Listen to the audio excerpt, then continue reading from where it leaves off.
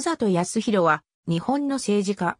自由民主党所属の衆議院議員、自民党経済成長戦略本部長、自民党選挙対策筆頭副委員長。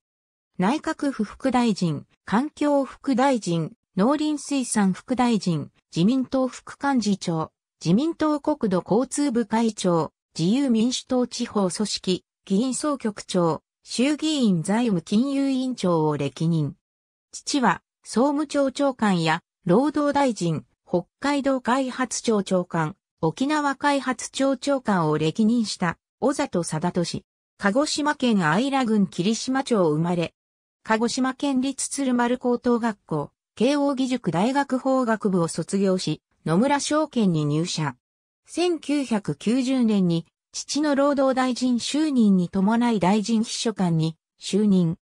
2005年9月11日の第44回衆議院議員総選挙では、父の引退に伴い、鹿児島4区から自由民主党公認で出馬。直前に社会民主党を離党し、民主党公認で出馬した現職の浜田健一を破り、初当選した。当選後は2005年初当選組で構成される83回及び谷垣派に所属。2006年自由民主党総裁選挙では谷垣定一の推薦人に名を連ねる。2006年7月に北薩地域で豪雨災害が発生。地元川内川の治水事業に奔走し、総額1000億円の大治水事業の実現にこぎつけた。2009年の第45回衆議院議員総選挙では、鹿児島4区で民主党公認の皆吉稲尾の猛追を受けるが、2711票差で逃げ切り、再選。なお、この選挙では2005年の総選挙に自民党公認で初当選した議員の大半が落選した。総選挙後、自民党内に設置された政権力委員会の農林水産副担当に就任。2010年10月、政権力委員会の廃止に伴い設置された影の内閣でも引き続き影の農林水産副大臣に就任した。2011年3月11日に発生した東日本大震災では自民党に設置された東日本巨大地震津波災害法整備等緊急対策プロジェクトチームの座長に就任。緊急対策の立案にあたり避難所対策から復旧対策まで577項目の対策案を取りまとめ政府に提言。さらに瓦礫処理特別措置法をはじめ、多くの震災関連法案も手掛けた。2012年10月に高知会を脱退し、全自由民主党総裁の谷垣定一による勉強会、有林会に参加した。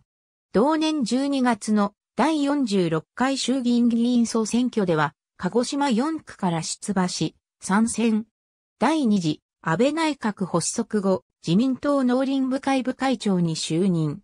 TPP 対応の決議案を作成し、さらに農業農村所得倍増目標10カ年戦略を取りまとめ、今後10年間の農政指針を示した。2013年9月、農林水産大臣政務官に就任。2014年9月3日、第2次安倍改造内閣で環境副大臣兼内閣府副大臣に就任。同年12月の第47回衆議院議員総選挙では、鹿児島4区から出馬し、4選。2016年1月、衆議院農林水産委員長に就任。2017年10月の第48回衆議院議員総選挙では、鹿児島県内の小選挙区割り変更に伴う調整により、鹿児島3区から出馬し、5選。2017年11月、衆議院財務金融委員長に就任。2018年10月、農林水産副大臣に就任。2019年9月、自民党国土交通部会長に就任。2021年10月、自民党経済成長戦略本部長、選挙対策筆頭副委員長に就任。2021年10月31日の第49回衆議院議員総選挙で前回下した野間県に敗れるも比例九州ブロックから比例復活し6選。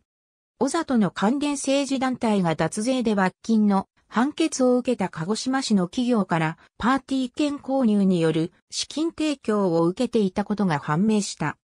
この会社は8年7月から10年6月にわたり、材料費や外注費を元経理部長が水増しし、法人税を免れたとして、鹿児島地裁で2013年4月に罰金3000万円などの判決を受け、その後確定している。2014年に小里が代表を務める政党支部が談合で指名停止措置を受けた業者から4、8000円の献金を受け取っていた。ありがとうございます。